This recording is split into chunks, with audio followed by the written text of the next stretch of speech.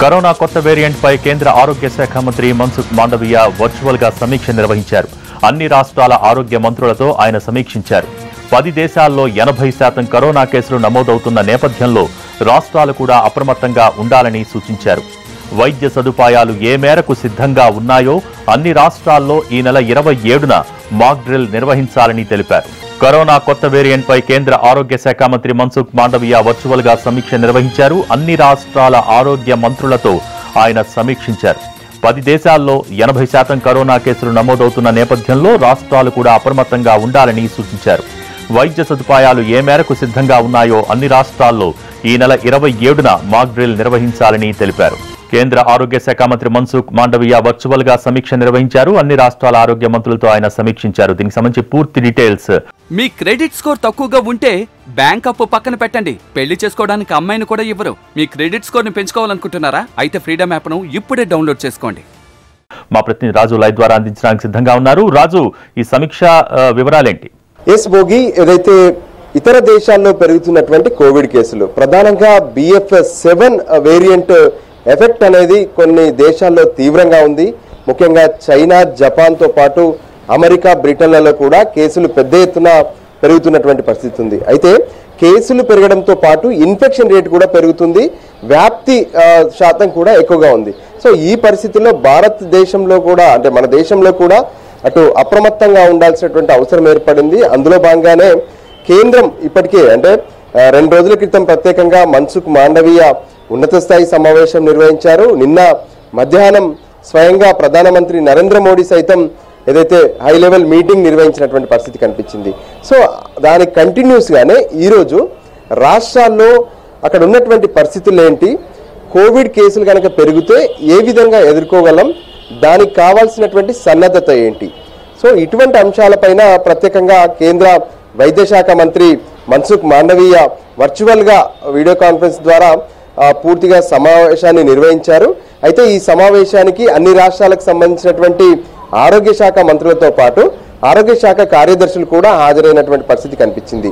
అయితే ప్రధానంగా ఏదైతే అన్నీ కుదురుతాయి అంటే డిసెంబర్ ప్రత్యేకంగా ఏదైతే ఇరవై ఏడవ తేదీన ఒక మాక్ డ్రిల్ నిర్వహించాలనే ఆలోచనలో కూడా కేంద్ర ప్రభుత్వం ఆలోచిస్తుంది.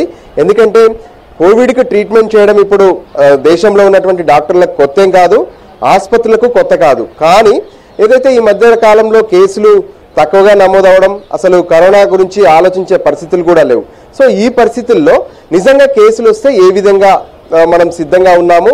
అంతేకాదు రాష్ట్రాల్లో ముఖ్యంగా అంటే గతంలో ఏ విధంగానైతే ఆక్సిజన్ సమస్యలు కావచ్చు మరోవైపు ప్రాణాధారమైనటువంటి మందులు అంటే కొన్ని ప్రత్యేకమైనటువంటి మందులు ఏదైతే ఊపిరితిత్తుల్లో ఇన్ఫెక్షన్ వచ్చినటువంటి వాళ్ళకు వాడినటువంటి సందర్భాలు చూసాము. ఆర్గాన్స్ ఫెయిల్యూర్ అవుతున్నటువంటి సమయంలో వాడినటువంటి మందులు కూడా ఉన్నాయి. సో వాటి నిల్వ కూడా అవసరం ఉంది. కొన్నిసార్లు అయితే బయట ధరలు పెట్టలేక ఎంతో మంది ప్రాణాలు కోల్పోయినటువంటి పరిస్థితులు కూడా చూసాం. సో అటువంటివేవి కూడా ఇప్పుడు జరగకుండా ప్రత్యేకంగా ఏదైతే గతంలో జరిగినటువంటి పరిస్థితులన్నింటినీ కూడా దృష్టిలో ఉంచుకొని ఆసుపత్రులు సిద్ధంగా ఉండాలి ఐసీయూ సిద్ధంగా ఉండాలి మరోవైపు ఐసోలేషన్ కోసం ఏర్పాట్లు చేసుకోవాలి. కావలసినటువంటి అంటే ప్రధానంగా విదేశాల నుంచి వచ్చేటటువంటి వాళ్ళపైన దృష్టి పెట్టాల్సినటువంటి అవసరం ఉంది. ఎందుకంటే విదేశాల్లో కేసులు పెరుగుతున్నాయి కాబట్టి. సో ఈ విదేశీ ప్రయాణాలు చేసి వచ్చే వాళ్ళను ప్రతి ఎయిర్పోర్ట్లో కూడా ఒక సిస్టమ్ ఏర్పాటు చేయాలనే ఒక నిర్ణయానికి వచ్చారు. ఎయిర్పోర్ట్లలో ర్యాండమ్గా అంటే వచ్చేటటువంటి ప్రతి ఒక్కరిని కూడా ర్యాండమ్గా వాళ్ళ టెస్టులు తీసుకోవడం వాళ్ళని టెస్ట్ చేయడం దాన్ని జీనోమ్ సీక్వెన్సీకి పంపడం తద్వారా ఏదైతే బిఎఫ్ సెవెన్ వేరియంట్ ప్రబలుతున్నటువంటి పరిస్థితులు ఎలా ఉన్నాయనే దాని మీద స్టడీ చేయాలనేది ఒక ఆలోచన. ఏదేమైనా సరే ఎటువంటి పరిస్థితులు ముందు ముందు వచ్చినా సరే ఎదుర్కొనేందుకు రాష్ట్రాలు సిద్ధంగా ఉండాలి. అవసరమైతే కేంద్రం నుంచి ఎటువంటి సహకారాన్ని అందించేందుకు కూడా కేంద్ర ప్రభుత్వం సిద్ధంగా ఉందని స్పష్టం చేశారు. ఇప్పటికే చాలా ప్రభుత్వ ఆసుపత్రుల్లో ప్రైవేట్ ఆసుపత్రుల్లో కూడా ఆక్సిజన్ సిలిండర్లతో పాటు ఆక్సిజన్ ప్లాంట్లను కూడా ఏర్పాటు చేసినటువంటి పరిస్థితి కనిపించింది. సో వాటన్నిటిని కూడా సిద్ధంగా ఉంచుకోవాలి. ఇప్పటికైతే దేశంలో పరిస్థితి తీవ్రంగా లేదు కానీ ఒకవేళ పరిస్థితి కనుక పూర్తి స్థాయిలో ఏమైనా కేసులు ప్రబలితే మాత్రం ఎదుర్కొనేందుకు రాష్ట్రాలన్నీ సిద్ధంగా ఉండాలని చెప్పి మన్సుఖ్ మాండవీయ స్పష్టం చేశారు. వాస్తవానికి ఏదైనా ఒక అంటే ఇలాంటి పరిస్థితులు వచ్చినప్పుడు కేంద్రం ఎప్పటికప్పుడు రాష్ట్రాలకు గైడెన్స్ ఇస్తూ ఉంటుంది.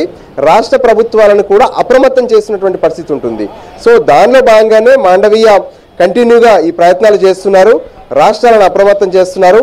ఎక్కడా కూడా ఎటువంటి అనుమానాలు ఉన్నా సరే కేసుల విషయంలో నిర్లక్ష్యం వహించొద్దు. ఖచ్చితంగా ఆ, ప్రతి కేసును కూడా సీరియస్గా తీసుకోవాలి. జీనోమ్ సీక్వెన్సీ కూడా చేయిస్తూ ఉండాలని చెప్పి స్పష్టం చేసినటువంటి పరిస్థితి కనిపిస్తుంది. సో మొత్తానికైతే రానున్నటువంటి రోజుల్లో కనుక కేసులు పెరిగితే ఎదుర్కొనేందుకు సిద్ధమయ్యేందుకు కావాల్సినటువంటి ప్రణాళికను మొత్తం కూడా కేంద్ర రాష్ట్ర ప్రభుత్వాలు ప్లాన్ చేసినటువంటి పరిస్థితి కనిపిస్తుంది. Bhogi. Okay thank you Raju. Me credit score తక్కువగా ఉంటే బ్యాంక్ అప్పు పక్కన పెట్టండి. పెళ్ళి చేసుకోవడానికి అమ్మాయిని కూడా ఇవ్వరు. మీ క్రెడిట్ స్కోర్ని పెంచుకోవాలనుకుంటున్నారా? అయితే ఫ్రీడమ్ యాప్ను ఇప్పుడే డౌన్లోడ్ చేసుకోండి.